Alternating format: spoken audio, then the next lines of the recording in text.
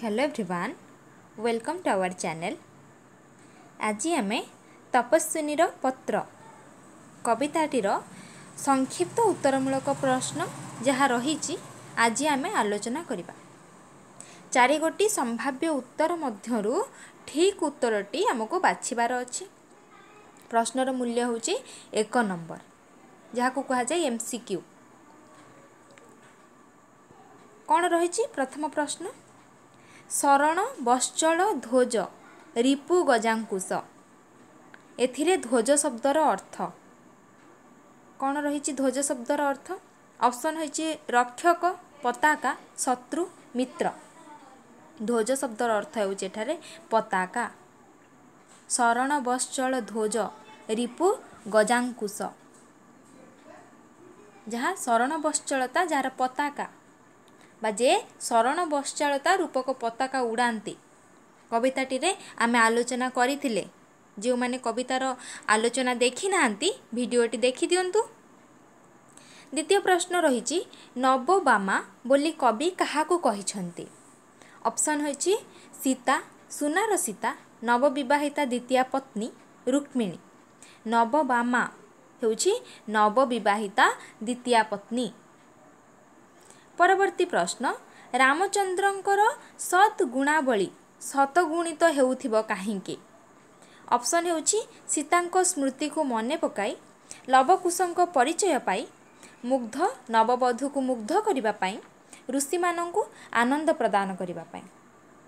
ରାମଚନ୍ଦ୍ରଙ୍କର ସଦ୍ ଗୁଣାବଳୀ ଶତଗୁଣିତ ହେଉଥିବ। କାରଣ କ'ଣ? ନା ମୁଗ୍ଧ ନବବଧୂକୁ ମୁଗ୍ଧ କରିବା ପାଇଁ।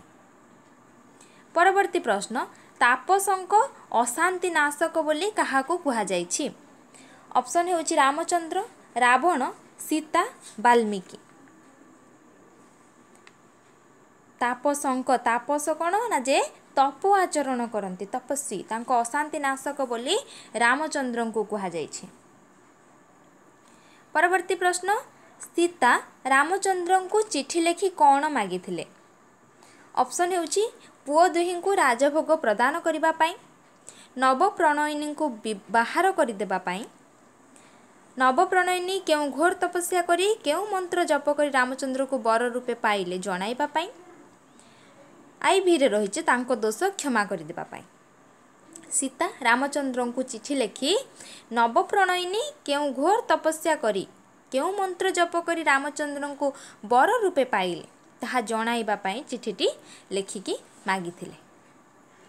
ପରବର୍ତ୍ତୀ ପ୍ରଶ୍ନ ରହିଛି ସୀତାଙ୍କ ପୁତ୍ରଦ୍ୱୟ କିପରି ଜନନୀଙ୍କ ଜୀବନ କନ୍ଦାଉଥିଲେ? ଅପସନ୍ ହେଉଛି ପରସ୍ପର ମଧ୍ୟରେ କଳହ କରି ବୀଣା ସହକାରେ ରାମାୟଣ ଗାନ କରି ରାମଚନ୍ଦ୍ରଙ୍କ କଥା ମନେ ପକାଇ ପିତାଙ୍କ ପରିଚୟ ପଚାରି। ସୀତାଙ୍କ ପୁତ୍ରଦ୍ୱୟ ବୀଣା ସହକାରେ ରାମାୟଣ ଗାନ କରି ଜନନୀଙ୍କ ଜୀବନ କନ୍ଦାଉଥିଲେ। ନେକ୍ସଟ କ୍ୱେଶ୍ଚିନ୍ ରହିଛି ତରୁଲତାଗଣ କ'ଣ ଶୁଣି ଅଥୟ ହୁଅନ୍ତି? ସୀତାଙ୍କ କ୍ରନ୍ଦନ ଲବକୁଶଙ୍କ ରାମାୟଣ ଜ୍ଞାନ ଋଷିମାନଙ୍କର ଓଙ୍କାର ଧ୍ୱନି ଋଷି କୁମାରମାନଙ୍କର ବେଦଧ୍ୱନି ତରୁଲତାଗଣ ଲବକୁଶଙ୍କ ରାମାୟଣ ଗାନ ଶୁଣି ଅଥୟ ହୁଅନ୍ତି।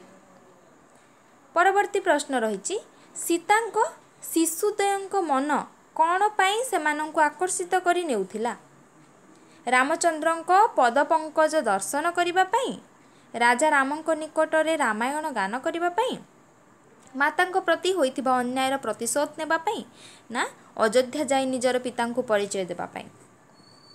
ସୀତାଙ୍କର ଶିଶୁଦ୍ୱୟ ଲବ ଆଉ କୁଶଙ୍କ ମନ ରାମଚନ୍ଦ୍ରଙ୍କ ପଦପଙ୍କଜ ଦର୍ଶନ କରିବା ପାଇଁ ସେମାନଙ୍କୁ ଆକର୍ଷିତ କରି ନେଇଥିଲା।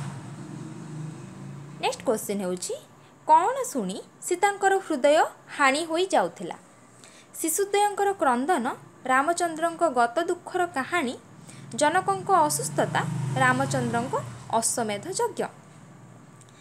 ସୀତାଙ୍କର ହୃଦୟ ରାମଚନ୍ଦ୍ରଙ୍କ ଗତ ଦୁଃଖର କାହାଣୀ ଶୁଣି ହାଣି ହୋଇଯାଇଥିଲା ନେକ୍ସଟ କ୍ୱେଶ୍ଚିନ୍ ରହିଛି ରାମଚନ୍ଦ୍ର ସୀତାଙ୍କ ପ୍ରେମକୁ କାହିଁକି ସ୍ୱପ୍ନ ମନେ କରିବେ ବୋଲି ସୀତା ଲେଖିଛନ୍ତି?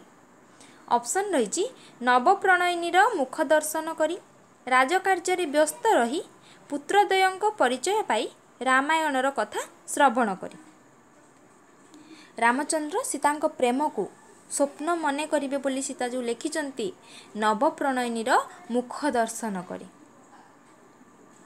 ଶେଷ ପ୍ରଶ୍ନ ସୀତା ପତ୍ର ଲେଖୁଥିଲା ବେଳେ କିଏ ହସି ହସି ପହଞ୍ଚିଲେ? ବାଲ୍ମୀକି ଲବକୁଶ ସଖୀ ରାମଙ୍କ ଦୂତ। ସୀତା ପତ୍ର ଲେଖୁଥିଲା ବେଳେ ଲବ ଓ କୁଶ ହସି ହସି ପହଞ୍ଚିଲେ।